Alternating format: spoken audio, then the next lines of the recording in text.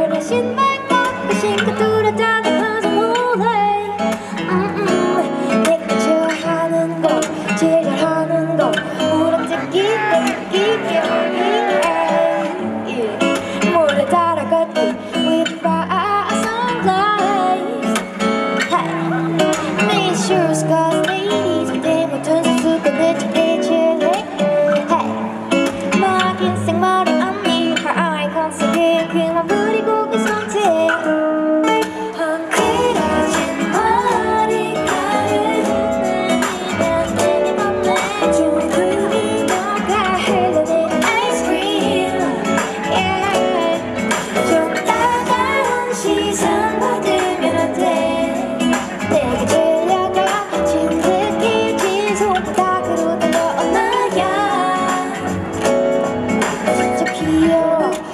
잘 생겼어.